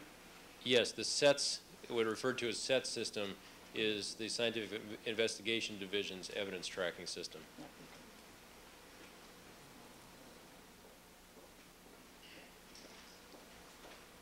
And that's a special system that you have set up, or LAPD has set up, to track items that are being, or, or in the process of being examined or held by SID. Well, it doesn't track items, it tracks packages of items. It could be a single item if there's only one in there, or if it's a large box that has 20 or 30 items in it, it will track the box. Now, items uh, that are in the evidence control unit, by the time they get there, they are also entered into a system called APIMS, correct? A-P-I-M-S? It's my understanding at some point that you get entered into that system. And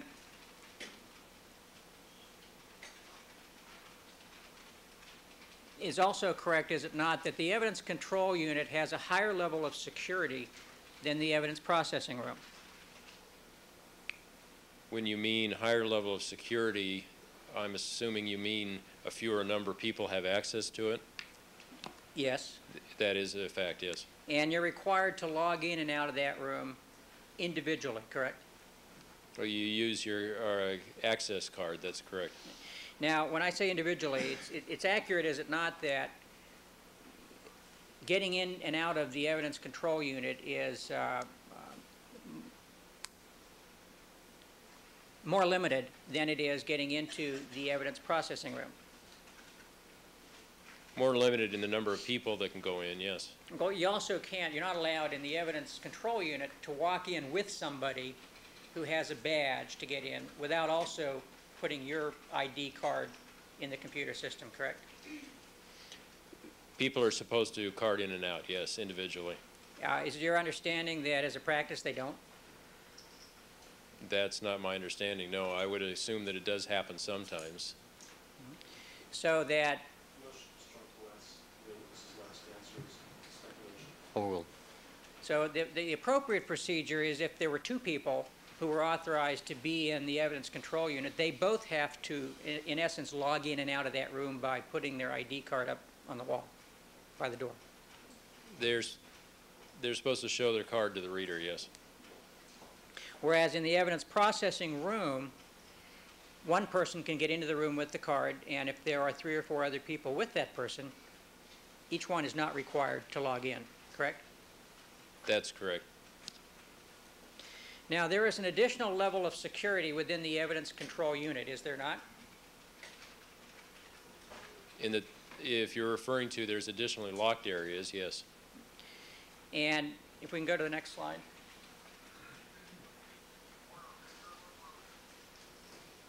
And the next. Now, there is an area within the evidence control unit where certain cases are kept separately from other cases within the evidence control unit, correct?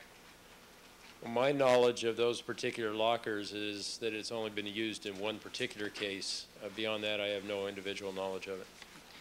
It was used in this particular case, correct?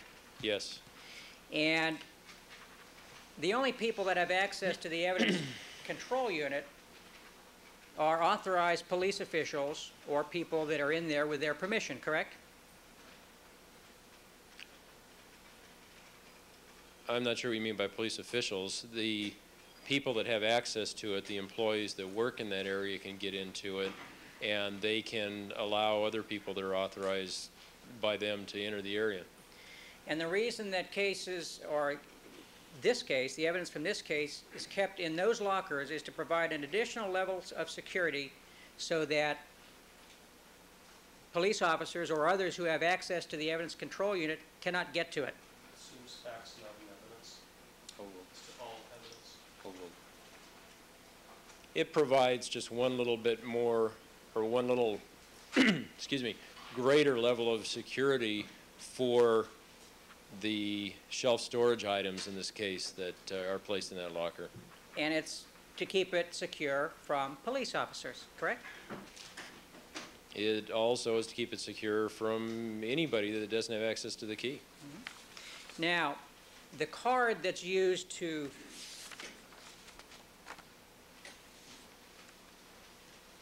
get in and out of the lab, uh, anybody who actually, who possesses that card can get into the lab, correct? Let me, let me narrow that down a little bit. At night, let's say, uh, is there a guard on duty at the lab? No, there is not. So if someone wanted to come into the lab at night and had the card, uh, there is no method for any kind of identification of that person visually. That's correct. And there is no method for leaving a fingerprint or some other means of uniquely identifying a person other than just having this card, correct? No, this is irrelevant. The, if a person has access to that door at that time of day, the computer records the code number on that card, uh, but it does nothing else beyond that as far as saying that, you know, it doesn't know that that's the person that's carrying it. It Correct. records the card information. Now, how many people have cards that provide access to the, the lab itself, the, the overall lab?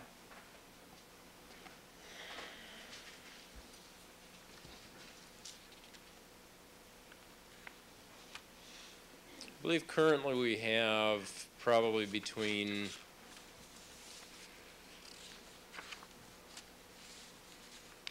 oh, 75 and 90 people, I believe, that have cards. And does that include, uh, well, tell me who that includes, just in general categories? Well, it includes criminalists, it includes our property officers, other support personnel that work within our laboratory, our student workers, our, excuse me, our clerical staff, the administration, and our uh, couriers. Now, it includes the management personnel of the lab, correct? That's I correct. mean, you have one, Yes, Michele Kestler has one. yes. And are there any other, uh, uh, the captain of the police department that's in charge of the lab has one, I assume? That's correct. His office is inside of that facility. Do any other uh, higher police officials have cards that allow access to the lab in general?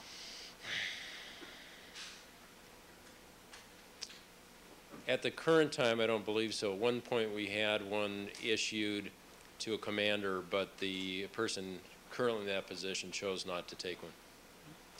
Now, would it be accurate to say that of the three areas we've talked about, the, the lockers, which I've titled sensitive case lockers, the evidence control unit, and the evidence processing room, The evidence processing room is the least secure facility of those three.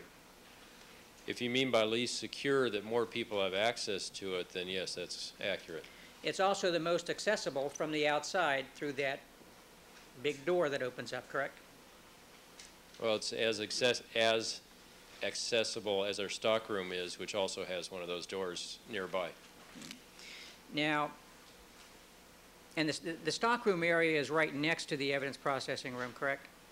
Yes, And there is a refrigerator in that stockroom, is there not? yes, there is a refrigerator freezer. And that refrigerator is available for criminalists to store biological evidence that might be kept in the evidence processing room, correct? It's available for them to use that, yes. Um, Let me go to the next slide, please.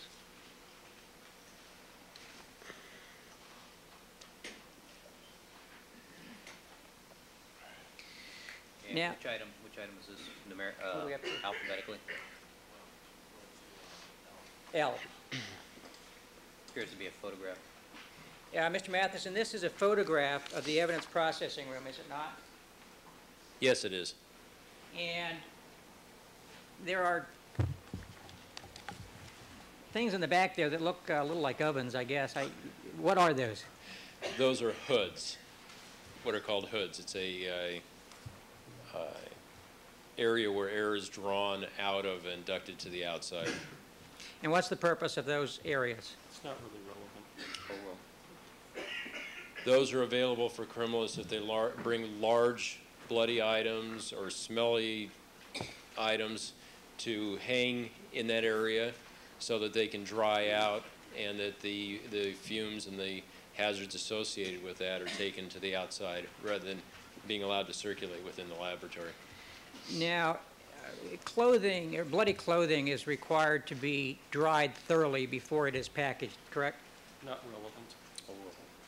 Yes, And what can happen if it's not allowed to dry thoroughly and then it's packaged?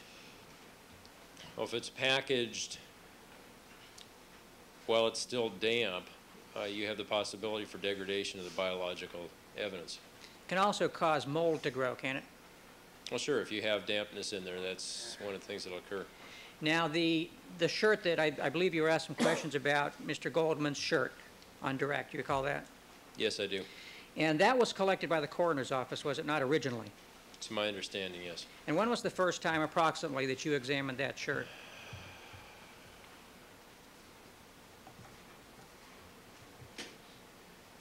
The best of your recollection.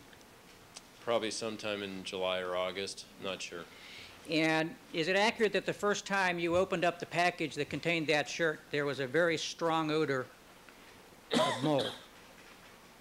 There was definitely an offensive odor, yes, smelled. And that's an indication that it was not packaged properly, isn't it? It's an indication that it was damp, it was allowed to stay damp for a while. That it was not packaged properly, correct? That it was not stored uh, properly then. Okay. Next slide.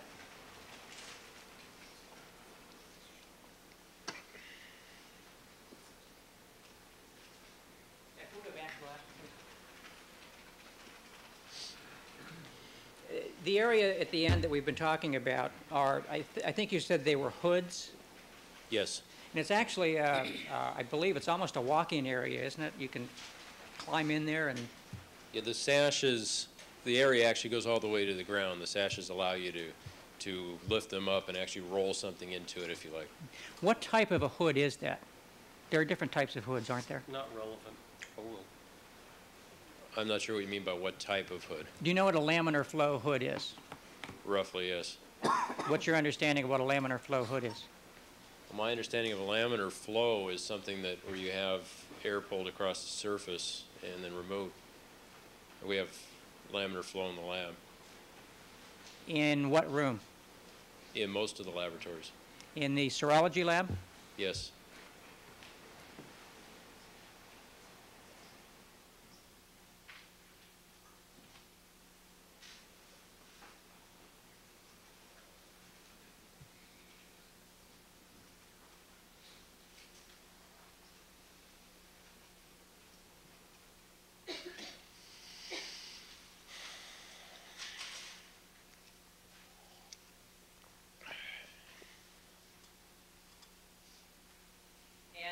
The, doors on that hood close, do they not? You can close it off, yes, by pulling the sashes down. So you can put uh, items that may be wet with blood in there, close the hood, turn on the ventilation system to allow them to dry, correctly? Uh, Correct? Well, the, the hoods are there for hanging things up to dry, but you don't turn it on. Uh, They're constantly running. But the- the reason they're running, and when you put items in there, is to facilitate the drying process. to facilitate the drying process along with, like I mentioned, the removal of uh, uh, odors. And isn't one of the purposes also to prevent, to- to have the doors closed, to prevent any contamination of items that might be outside that hood with particles of blood or other biological material that might be on that clothing? This isn't relevant. Was there anything put in the hood, to your knowledge, with regard to this case? Uh, Not to my knowledge, no. Let's proceed.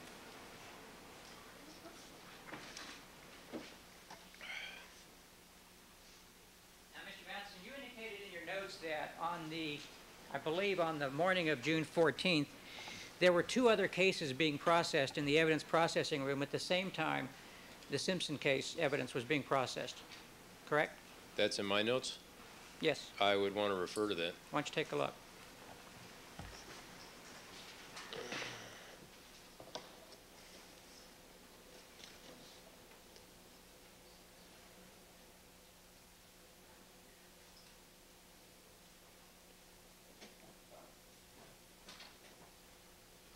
Yes, that is a reference on what is L five oh seven of a chronology that I made dated six fourteen ninety-four.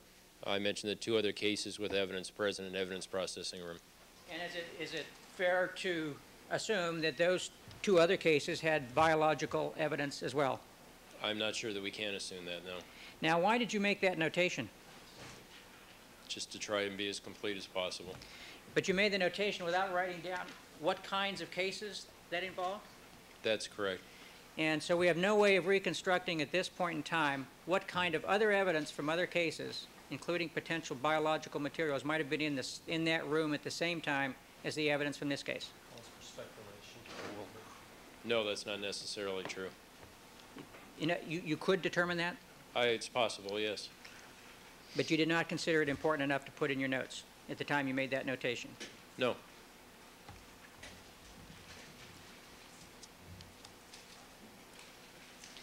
the next slide, please.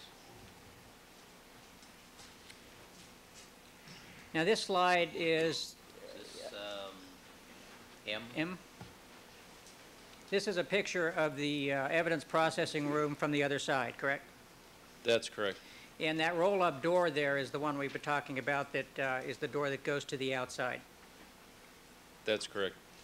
Now, you recall in August of last year, I believe it was the 26th or around that time, there was a visit to the lab by a number of defense experts and attorneys. I'm not sure the exact date, but yes, it was a visit where we gave a tour of the facility. And do you recall whether or not that roll-up door was open at the time that tour was done? Not relevant. No, I do not. Can we go to the next slide, please? Now I'm going to blow up a little area back by Mr. Scheck's head, which is the cabinet where the evidence in this case, the swatch evidence, was dried, correct? Yes. All right, this is N.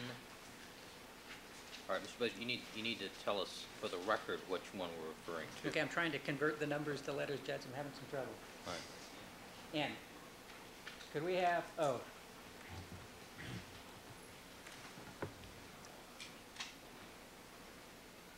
Now, this is a better picture of that cabinet, correct? It's a picture of the doors open, yes. Now, that cabinet does not have any lock on it at all, does it? No, it does not. And when it's used for drying biological stains, does it have those other items in it as well that are in there, in this picture? Yes, And are there chemicals kept in that cabinet at the same time that biological evidence is in there drying? Yes, there is. What sorts of chemicals are in there? They are the chemicals that we use for our field testing, the phenolphthalein test that's been talked about. If there's anything else, I'm not sure what it is.